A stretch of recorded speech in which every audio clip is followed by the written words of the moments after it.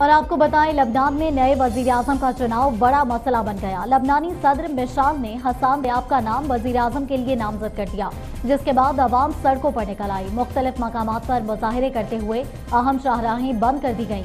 مظاہرین نے حسان دیاب کے گھر کے سامنے سعد الحریری کے حق میں نعرے لگائے۔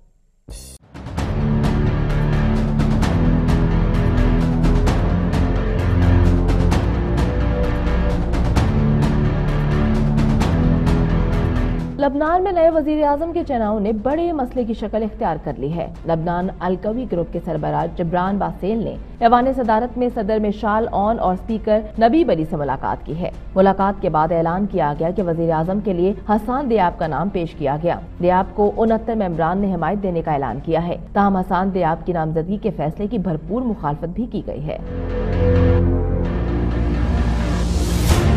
دوسری جانب نامزد وزیر اعظم نے خود کو آزاد رہنما کے طور پر پیش کرتے ہوئے کہا ہے کہ لبنانیوں کی تحریک بیداری ان کی اپنی تحریک ہے۔ حسان دیاب کی نامزدگی کے چند گھنٹے بعد ہی ملک میں مظاہرے شروع ہو گئے۔ عام شاہراہیں بند کر دی گئیں۔ موٹر سائیکل پر سوار مظاہرین نے دیاب کے مکان کے سامنے سعد الحریری کی حمایت اور دیاب کی مخالفت میں نعرے لگائے ہیں۔